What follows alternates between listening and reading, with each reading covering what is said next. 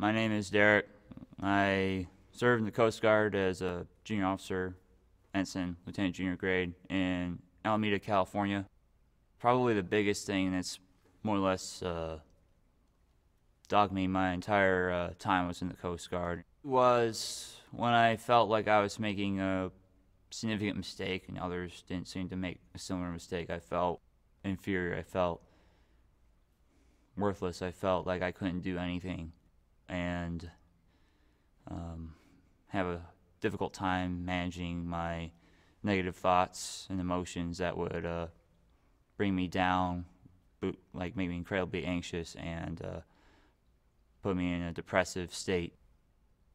Initially, it was actually brought up that the upper class, the the cadre, the that were training us through that first summer, actually uh, pulled me aside and actually got me scheduled to see the psychiatrist on base a couple times over that first summer.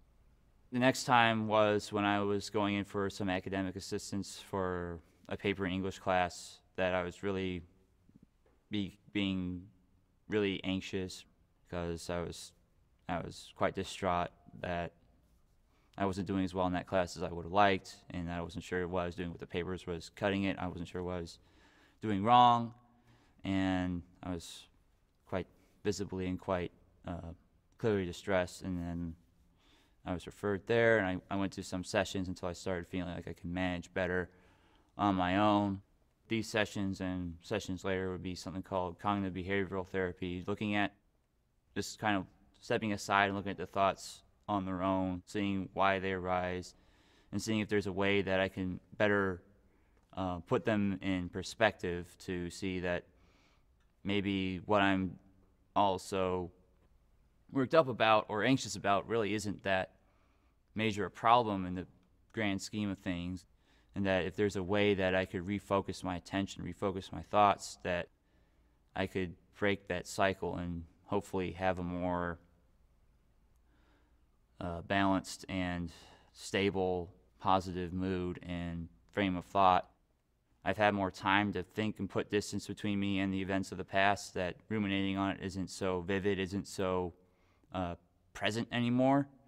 That that also seems to help. But I've also been trying different treatments, getting a little more different perspectives on issues. But it seems that the combination of what I'm going through now seems to be working at any rate.